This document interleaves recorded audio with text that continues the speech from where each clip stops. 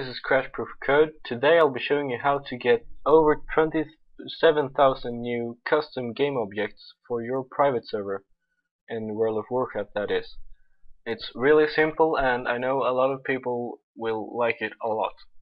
All you need are these free files here. I'll be providing a download link in the description that I'll be hosting on my web server. So uh, let's start with this one, patchd. This is a file that everyone must have that plays on your server, but it's really small, only 705 kilobytes. Uh, it's fast to download. So you just copy that and uh, you go into your World of Warcraft game folder and data and you paste it here uh, along with the other patch files. So as you see I just pasted the patch D here earlier um, that's what it looks like really simple and that's all with that file uh, once you're done with that, you should take a look at this file, gameobjectdisplayinfo.dbc.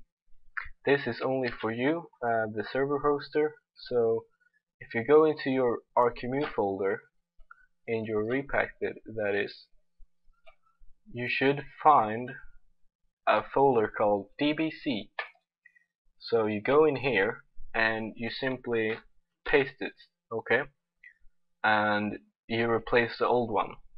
You may want to make a backup on the old one if you want to uh, go back later, but you could just paste it in there so it works. And that's all with that file. Uh, and uh, last but not, not least, uh, game object names SQL file. This is for your MySQL database server. So if you open up Navicat or HeidiSQL or whatever program you're using, uh, you go into your database.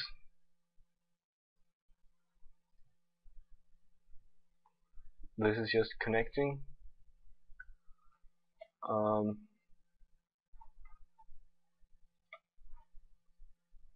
I'm just gonna cut this part in the video. So once you're in your database you go into your uh, your database.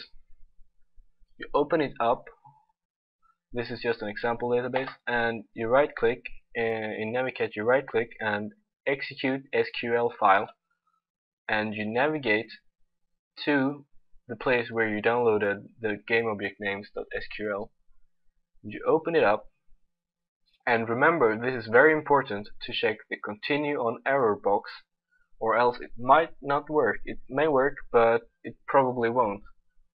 Uh, so you check that and you just simply press start and it should begin to uh, execute SQL.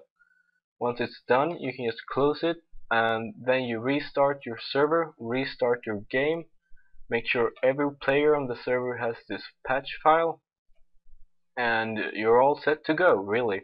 It's simple as that, 27,000 new game objects. Uh, thank you for watching. Um, this is Crashproof Code. Uh, don't forget to like, rate and uh, subscribe if you enjoy my videos. Bye.